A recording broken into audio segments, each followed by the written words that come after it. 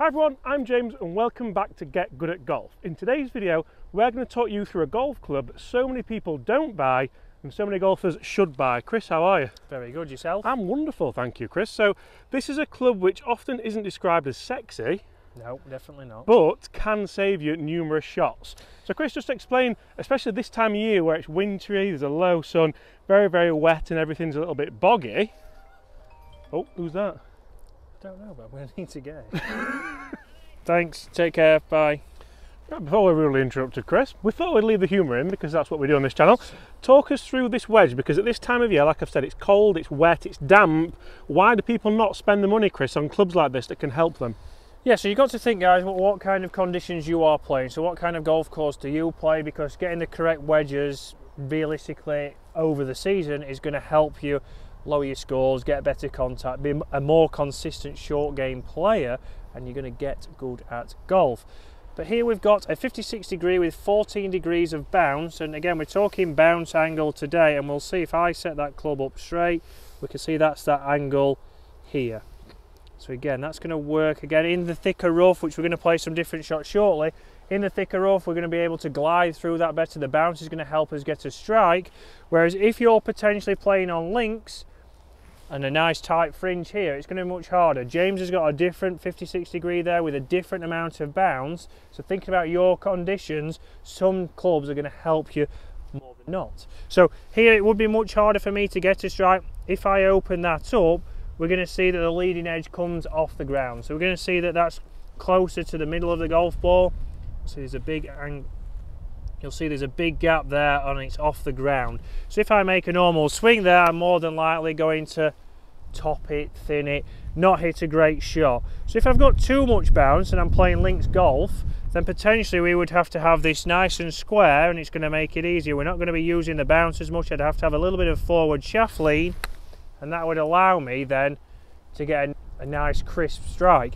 But obviously that is then adjusting your setup, having to change things, having to manipulate it. So getting the correct wedge for your golf course, for your conditions, is massive to you saving shots. And you see, for me, guys, I often think that this is something that people just don't think about. They'll think about what brand name wedge they're going to get. People are thinking, am I going to get Ping, am I going to get Vokey, am I going to get some TaylorMade wedges? When realistically speaking, we're thinking about what bounce am I going to get, what loft am I going to get for my gap in, and this is all stuff which so many amateur golfers just don't think about enough when spending the money. Wedges aren't cheap anymore.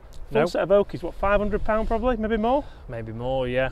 but you don't go and get the right bounce either for the time of year or for the golf course you play. So interested there, Chris, you mentioned about if you have too much bounce, which I often think that that is the lesser of the two evils, I think, because if you don't have enough bounce and you don't have the perfect technique, often you find yourself maybe not that extreme, but that is what you can guys. It can dig into the ground, and that's where you can really start to get your knee shakers with your short game. Whereas, Chris, if I had your more bounce wedge there, I can actually see the leading edge almost sat there just above the turf line. If I try and duff that, yes, you can hear that I still caught it a little bit heavy. There was still ground interaction, but it's actually glided underneath, glided.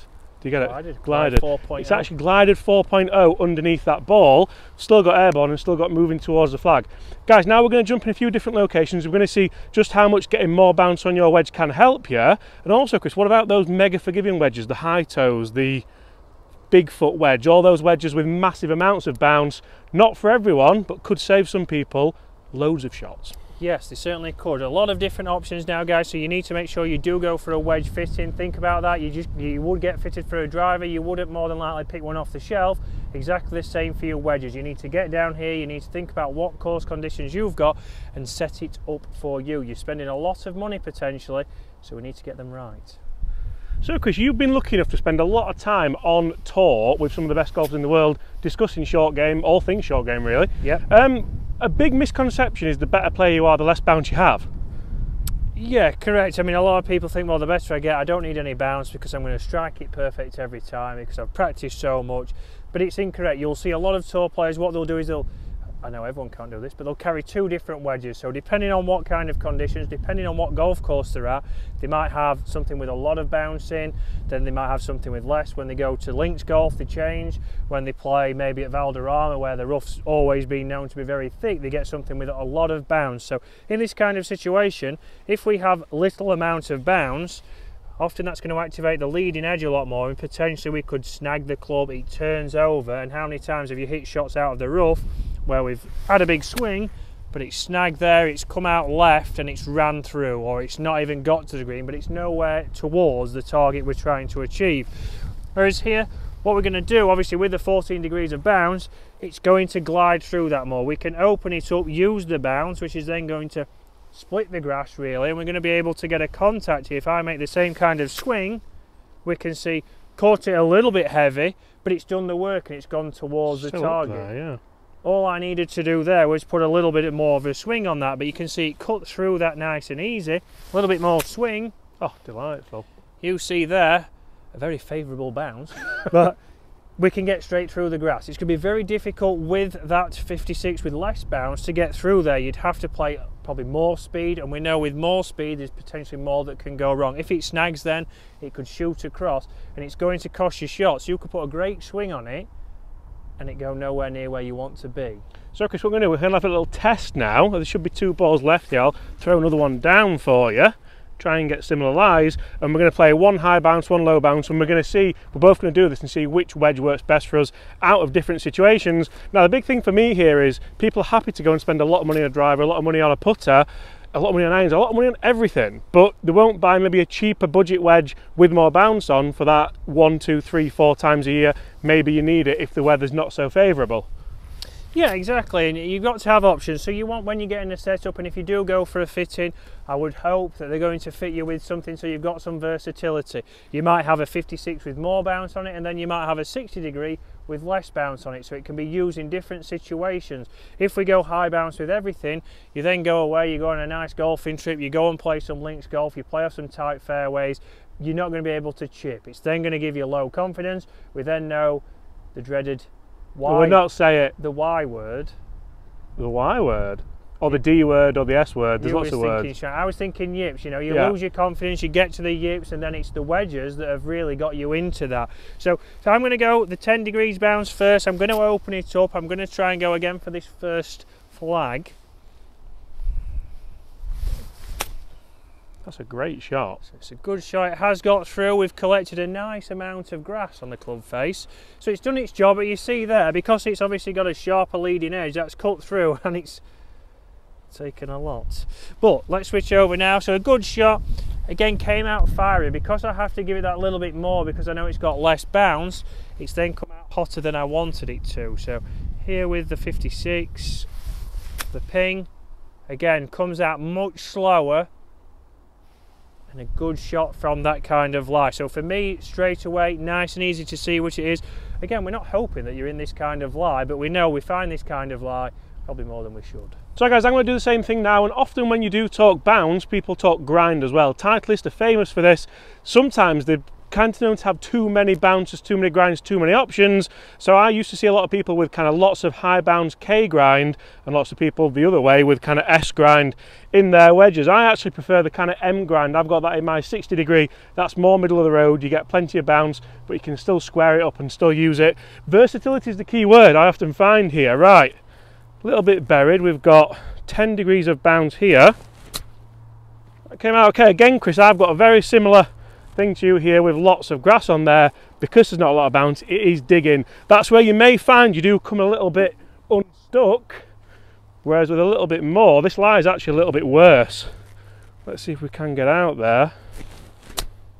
That was so easy to get out and I think the bounce there has really helped me. I think actually my first one was a little bit closer but the second one was lying a little bit worse. It was actually lying quite a lot worse but this thing here has really, really, really helped me. Guys, let's show you another lie where having the right amount of bounce can help you. And the right amount of bounce isn't always a lot of bounce, but this time of year, it often is. So guys, one thing that I often find as well, I've spent so long in my life teaching golf and then picking golf balls up, and I always use a bounce with lots of wedge on, just bounce with lots of wedge on. I always, we're going to keep that in. I always use a wedge with lots of bounce on to pick the balls up because say if I want to just kind of flick one in the air there, you'll see you'll see just how easy that is because I'm not thinking about technique. I'm going to nonchalantly just walk over there and slam the bounce into the back of the ball. If you struggle with chipping, that's something that can really, really help you. Nonchalant. That was like Dimitar Berbatov, wasn't it? Right, let's jump in the bunker. Let's see what the, how the wedge can help you in there. I can't believe I've, how good was that? is it a bunker or is it a pond? So guys, I mentioned it was winter and often you find bunkers like this, Chris. So half the bunker is a little bit damp. Obviously you would get a drop from that, but you'd have to remain in the bunker. A little bit damp, it's a foot deep. It, it is, uh, it's very wet. Yeah, so we're going to get compact bunkers, it's one thing that people have asked about on the channel is compact bunkers. But here we've got compact sand because it's been raining, but there's plenty of sand in here. So instantly people think when it's uh, when it's compact, sorry, they'll go right. I need little bounce. I don't need much bounce because it's compact. It's rained. It's all the sand's down. Well, no. If you've got a lot of sand under there, we still need a lot of bounce because we're still going to take a lot of sand. We're going to take a divot, but the bounce is going to help us glide through there and pop it out as opposed to, again, with less bounce, it could dig, the divot becomes bigger, and then distance control is much harder to judge. So I'm going to go in, first of all, with the Ping Glide 4.0. We know this is the biggest bounce, but again, if I just use that bounce to my advantage,